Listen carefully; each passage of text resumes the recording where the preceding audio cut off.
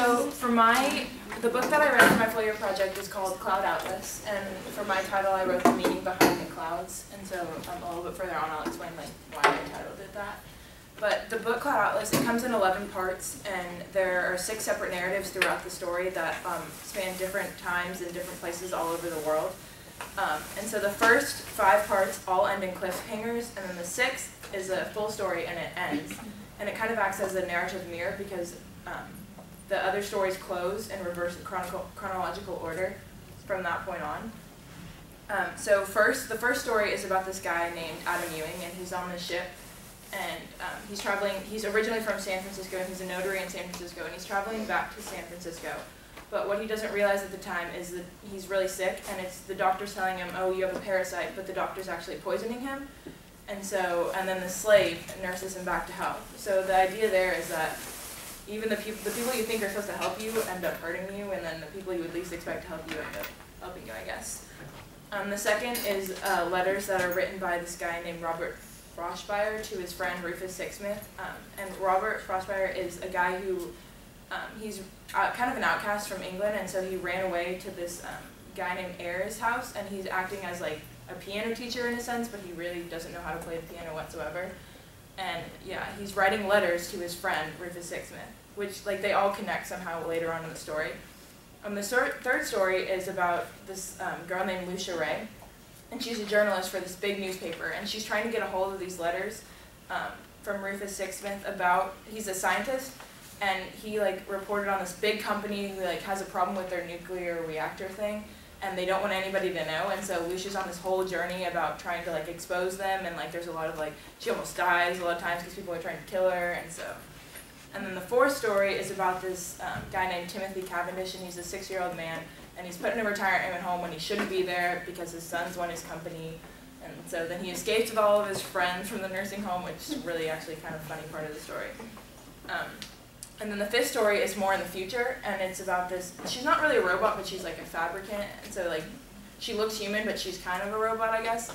And her name is Sonmi, and um, she like she gets into huge trouble because she like moves up the ranks and she learns, and she's not supposed to learn. She's just supposed to do what she's assigned, and so she gets in huge trouble with that. And the last story is about this guy named Zachry, and um, he um, is kind of back in a Stone Age sense because um, uh, he's like telling a story about how humans used up all the resources and destroyed everything around them and basically brought themselves back to a Stone Age, so like a new Stone Age, I guess you could say. And so that's how the story reflects. Um, the most important thing about Cloud Atlas is that the entire book is a book of connections. So what you don't realize, you don't realize it until the end, but all the characters are reincarnations of each other, but just in different time periods. And they all have connections in the stories that you like wouldn't see it the first time, but then when you go back and read it again, you realize.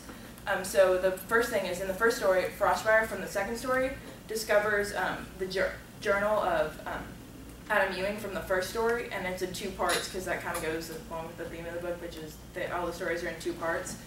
And then Luisa Rey discovers Frobisher's um, letters to Rufus, and so she reads them, and she um, also manages to hear the music that Frobisher composes.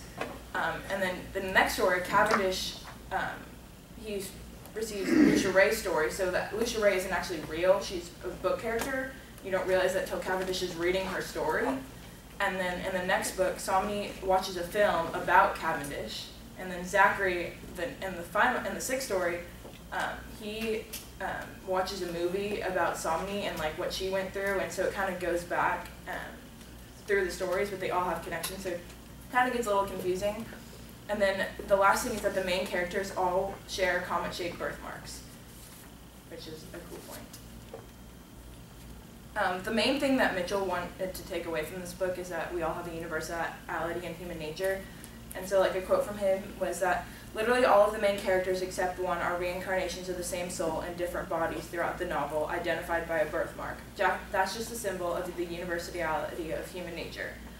And he was saying that the title itself, Cloud Atlas, refers to the manifestation of the atlas, which is basically saying that the cloud refers to the ever-changing um, ever-changing um, manifestation of the atlas, which is the fixed human nature that's always the same, um, but it never changes in a sense.